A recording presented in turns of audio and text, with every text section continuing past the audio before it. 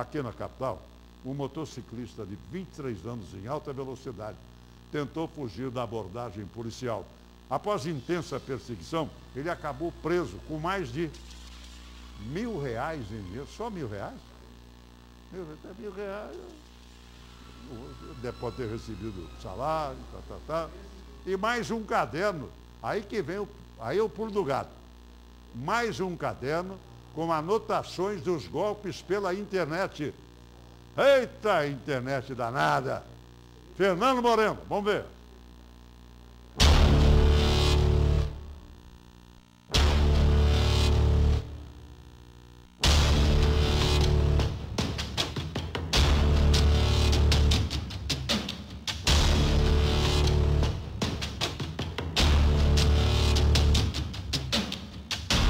Exatamente neste ponto em que os homens do raio abordaram o motociclista, que antes da abordagem ele já vinha em alta velocidade pela via. Foi feito acompanhamento, não é? Justamente por direção perigosa de veículo, não é? E quando foi feita a abordagem aqui neste ponto, usando a técnica de entrevista com o motociclista, foi percebido com ele cerca de 13 mil reais.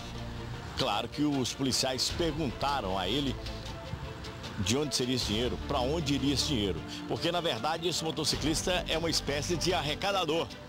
E ele foi explicando, ele teve que abrir o coração e foi explicando que, na verdade, o dinheiro era de golpes. E levou os policiais até a casa dele. Lá foi encontrado tudo isso que vocês veem aí, ó. Chips, cartões e mais 13.550 reais, um total de 26.550 reais. Mais uma operação da companhia de rondos de ações intensivas e ostensivas da Polícia Militar, CR1. Dessa vez, mais uma vez, nossos policiais conseguiram fazer a apreensão de muito dinheiro através de golpe de OLX.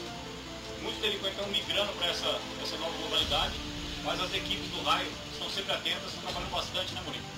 Dando resultado muito importante para a sociedade local. Não é a primeira apreensão que nós fazemos de bastante dinheiro e materiais de, de, de OLX. E o rapaz foi preso, levado para o CISC, como vocês estão vendo, entregue na delegacia para as medidas cabíveis.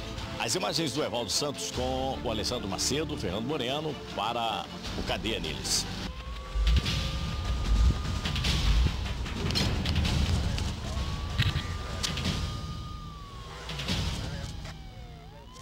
O motociclista vai responder pelos crimes de direção perigosa de veículo na via pública, desobediência e estelionato.